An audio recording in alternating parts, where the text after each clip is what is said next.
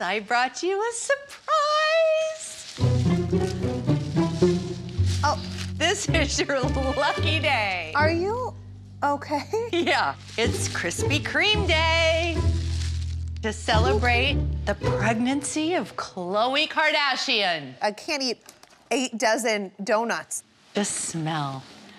Mmm, They do smell pretty I good. know.